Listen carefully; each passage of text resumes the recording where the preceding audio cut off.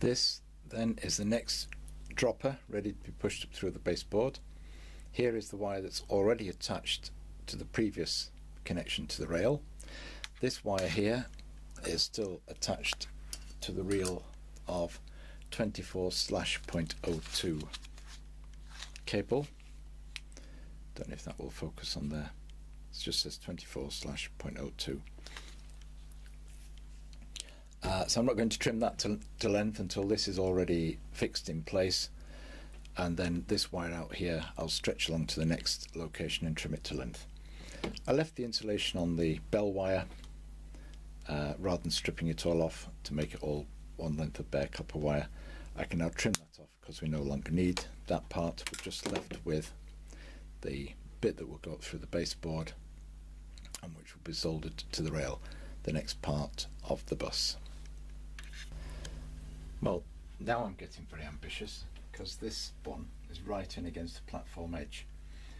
Of course, this is retrofit work. Another reason why it's probably uh, highly likely that you're going to get a dry joint unless you're very careful is, of course, this track is going to be tarnished if it's been down for a long time. It's not brand new out of the box. So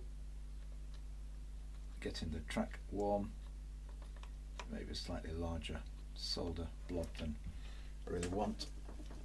Um, the wire was spring tight against there. You don't want air gaps between the wire.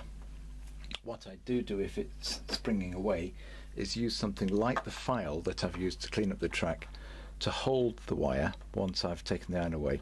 The solder doesn't stick to the file but it just helps hold it in place so it doesn't spring away as the solder cools. You. I've remade that connection because I wasn't absolutely sure it was spot on, i.e. there wasn't an element of dryness. In the process I have melted the sleepers but I've also made a connection with a smaller blob of solder. It has nothing to do with the size of the blob of solder because you can see there's a big blob over there.